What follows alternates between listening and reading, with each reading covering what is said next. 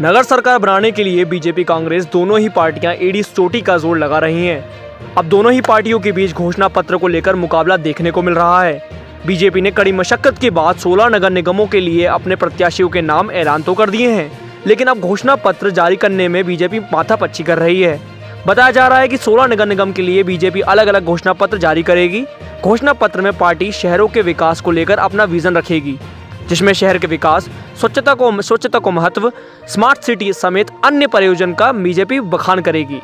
सूत्रों की माने तो निकाय चुनाव मद्देनजर भाजपा के घोषणा पत्र और अंतिम चरण में मंथन चल रहा है।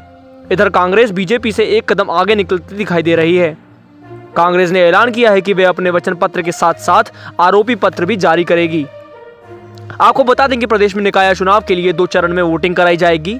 पहला चरण 16 जुलाई को होगा, जबकि दूसरे चरण के लिए 13 जुलाई को मतदान होगा।